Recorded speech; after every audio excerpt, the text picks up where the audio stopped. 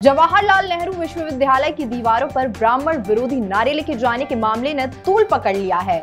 JNU में ब्राह्मण भारत छोड़ो और अन्य नारे लिखे गए तस्वीरें सोशल मीडिया पर वायरल होने के बाद विश्वविद्यालय प्रशासन ने एक्शन लिया है। कुलपति ने शिकायत समिति से पूछताछ करने और एक रिपोर्ट पेश करने के लिए कहा है। पंजाब के जिला लुधियाना में कोर्ट कॉम्प्लेक्स में हुए धमाके के मुख्य आरोपी आतंकी हरप्रीत सिंह को एनआईए ने कुआला लंपुर से वापस भारत आते हुए दिल्ली एयरपोर्ट से गिरफ़्तार किया है।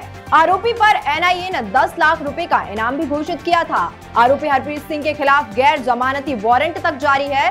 वहीं उसके खिलाफ लुकआउट सर्कुलर भी जारी किया जा चुका है।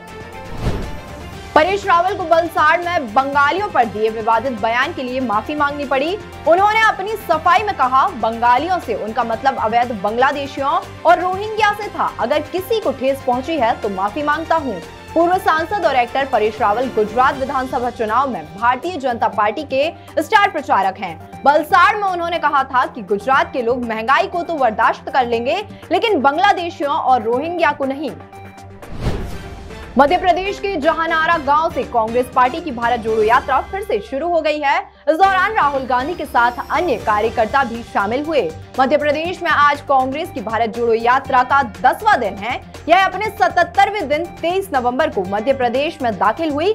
गौरतलब है कि यात्रा राज्य में 12 दिनों में सात जिलों से होकर गुजरेगी। बता दें, उज्जैन में एक जनसभा को संबोधित करते हुए राहुल गांधी ने भाजपा की सरकार पर जमकर निशाना साधा।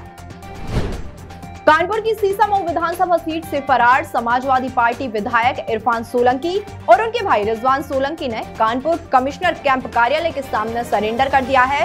इस दौरान विधायक हसन रूमी और अमिताभ वाजपेयी भी उनके साथ मौजूद रहे। पिछले महीने एक भूमि विवाद में एक महिला को कथित रूप से परेशान करने और उसके घर में आग लगाने के आरोप में पुलिस ने उनके खिलाफ मामला दर्ज किया था और वह तब से फरार चल रहे थे।